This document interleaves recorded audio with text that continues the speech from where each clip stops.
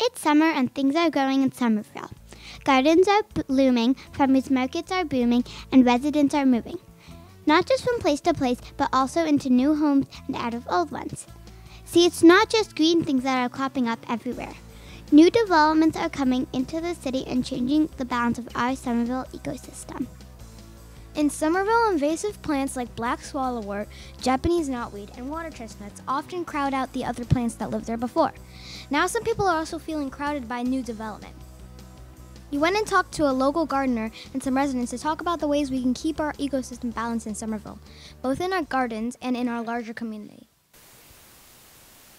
So when I started working at the farmers market, and I didn't know America has this kind of program, and um, I was like excited to do my own, grow my own food, and um, my background is my grandparents were farmers, so I knew how to grow, and I love to grow. That's why gardening is important because if they can grow their food, they're healthy and it's fun.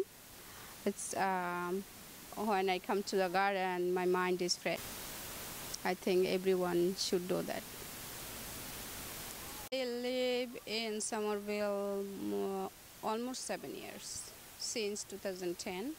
So Somerville, um, I work with the city of Somerville uh, with food system, and I see they have like since I started working with them uh, with the food system, it's um, improving a lot. We didn't have uh, like food truck. Now we have new food truck. We have a lot of equipments. We have like better employees and. Um, lot of Im- improvement for my side, but other side I heard uh, Somerville is doing great.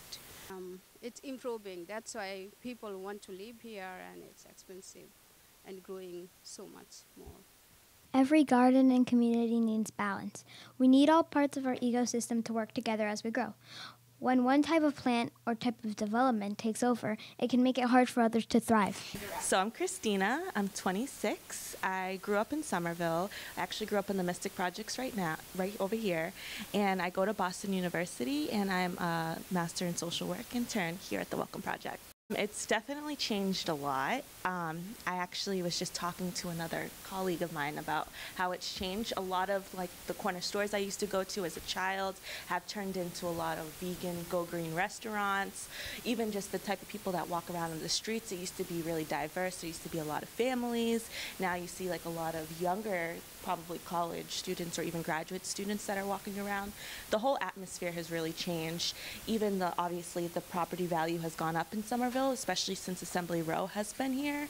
A lot of the rent has gone up significantly. Just stuff like that. Well, that's why we also have inclusionary zoning, where we try to make a certain percentage cheaper. So like you only pay, I think 20% of all like housing has to be affordable.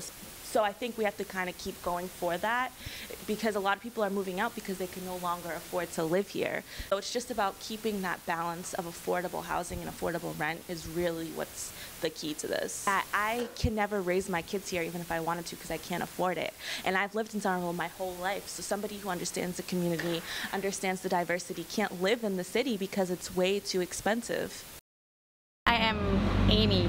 I work at Sushi Ibi uh, restaurant.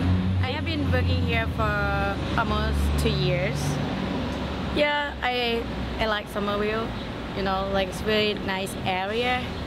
Yeah, and people around here are friendly.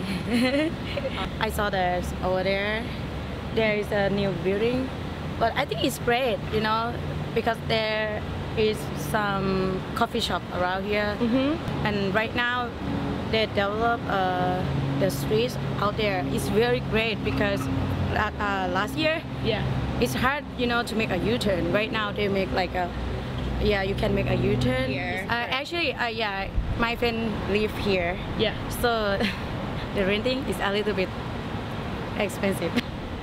Once Cambridge got rid of rent control, let's see, uh, everything started spilling over to Somerville, although gentrification was obvious even 50, 60 years ago because I studied urban development but the people who were loyal to the old style politicians are the same ones that are getting kicked out because they can't afford to live here.